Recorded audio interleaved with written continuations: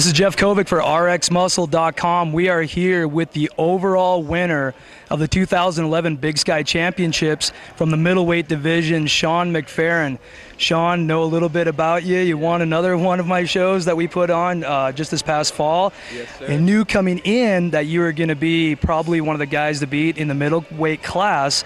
Um, tell us about the show and how, why you came up here and uh, what you did different. And uh, I think you were much improved from the last one too. I, yeah, I agree. Um, I had a great time in Bozeman, so I decided to do this show and I wanted to qualify, honestly.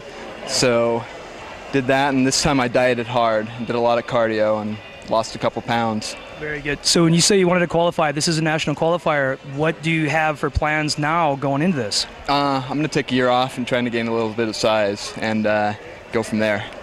For RxMuscle.com, overall winner Shaun McFerrin. We'll see you next year in April at the Big Sky Championships in 2012, Missoula, Montana.